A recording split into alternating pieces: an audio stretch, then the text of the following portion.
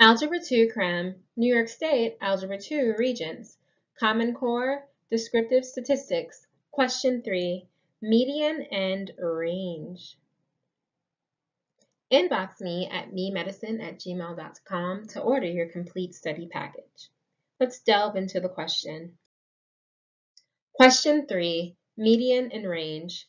Two Algebra 2 classes took the same diagnostic exam that was scored on the basis of 100 points. Ms. Campbell's 10 a.m. class had a median score of 78 and a range of 4 points, while Ms. Campbell's 11 a.m. class had a median score of 78 and a range of 22 points. Explain how these classes could have the same median score while having very different ranges. Definitely press pause if you need to, and I'll give you a moment to think.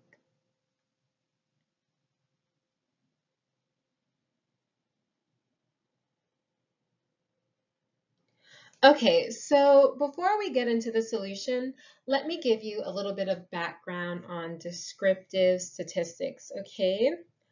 A statistic is basically um, a calculated value that is descriptive of a sample. A sample being basically a select few items or individuals from a larger population that a researcher is studying. Researchers are usually discussing a sample statistic because collecting um, the data to calculate uh, population parameters where population parameters are basically going to be calculated values descriptive of an entire population. This task is simply too expensive and time consuming, okay? So they opt to calculate sample statistics instead. Again, a statistic is a calculated value that is descriptive of a sample. In descriptive statistics, the, um, the median or how, how can I describe this, is categorized as a measure of central tendency. The other measures of central tendency are going to be the mean, the mean or the average of a sample denoted by x bar, okay? And a third measure of central tendency in descriptive statistics is the mode. The mode is the value in the data set that repeats most often. So here the um, the unshaded individual would be the mode. It's occurring most often in this particular sample. Okay, but if we were looking at numerical values, it's going to be the value that repeats most often in the data set. So these are the different ways of describing the center of a data set or a measure of central tendency in descriptive statistics. The median now um, is going to be the middle number, okay?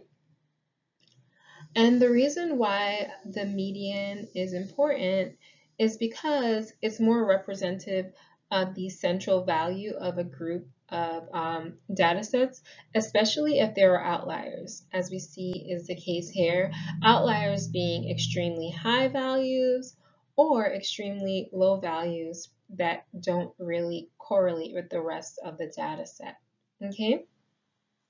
So again, the median is going to be the middle number, but it's only the middle number after the data set is organized from uh, lowest to highest numerical value. Okay, so the median would be somewhere around here. All right. Now let's get back to our question stem. Two statistics that are being reported here are the median and the range, and um, they measure completely different things. The median tells us the middle score, which in both cases is 78, okay?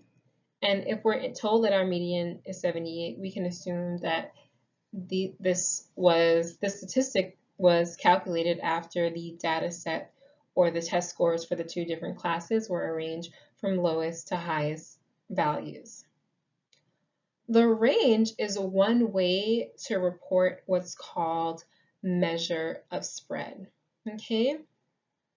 So in this problems, uh, there's two classes, Miss Campbell's 11 a.m. class and her 10 a.m. class, they had the same median score of 78. So this can be for her 10 a.m.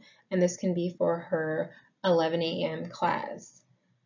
However, the data um, for her 10 a.m. class is going to be more tight. It's going to be less spread out than the range of values for her 11 a.m. class, okay? So let's say for example's sake, we're not told this in the problem, but we're just doing an example range. An example range for Miss Campbell's um, uh, her 10 a.m. class could have been from 76 to let's say 80. Whereas a range for her 11 a.m. class could have been from 70 to 90, okay? Well, 92. And these are pretty good test scores actually. Um, and I, for the last example, I want you to know something really important. The median of a set of data does not have to be the perfect central midpoint, meaning it doesn't have to be the number halfway between, perfectly halfway between 78 and 92, okay? It's just going to be the number that falls in the middle of 22 different data points, okay? And be aware that when taking an exam, or let's say you're using this review for the Algebra 2 um, Regents, it's good to give specific examples, as we just did by giving an example range of um, 76 to 80 for the 10 a.m. class and 70 to 92 for the 11 a.m. class. Adding such details to your explanation, if you're doing them correctly, will help the grader understand your response more clearly. All right, so good luck studying.